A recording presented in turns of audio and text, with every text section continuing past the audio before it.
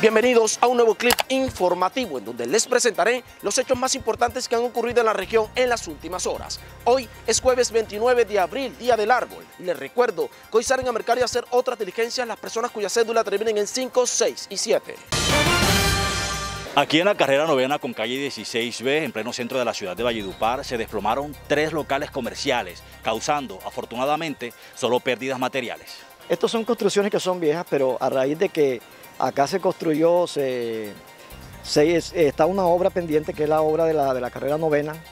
Pues eso ayudó también, todos los taladros y todo el poco de maquinaria que ellos traen, a que la construcción, ya por ser vieja también, pues se diera y se, agrietó y a base de eso entonces se filtraba el agua y fue donde terminó en el desenlace de ayer propietarios de los tres locales comerciales que se vinieron a tierra ayer en medio del aguacero que azotó la ciudad claman ayuda de la institucionalidad. Hasta ahora no hemos tenido eh, ninguna... Eh, eh, ninguna ningún parte de, ni del CIBA ni inclusive de los dueños de los, del, del inmueble.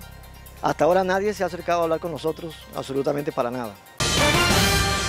Hoy es el Día Nacional del Árbol. Aunque muchos prefieren irse por las ramas y no dejan que la celebración eche raíces, hay quienes promueven el verde del arbolado en ciudades como Valledupar. Pero tiene que corregir unos temas que han ido deteriorando el paisaje, como no seguir sembrando especies introducidas, organizar una oficina que se encargue del seguimiento, del control, de la orientación y brindar a la comunidad las orientaciones claras y precisas de qué especies se pueden plantar en cada sitio. Y quiero hacerles una invitación a que reforestemos bosques, nuestra ciudad y nuestra ribera del río Guatapurí. Un nuevo caso de suicidio se presentó en el corregimiento de Villa San Andrés, jurisdicción del municipio de Aguachica, Cesar. El nombre de la víctima corresponde a Diego Prada Álvarez. Cabe destacar que en lo que va corrido del año ya son cuatro personas las que han fallecido bajo esta modalidad en este municipio. En una clínica de la ciudad falleció la niña Adelaida Castro Ríos, de 11 años, que permaneció tres días luchando por su vida tras ser impactada por un trampero en la vereda La Unión, jurisdicción del municipio de Curumaní, Cesar.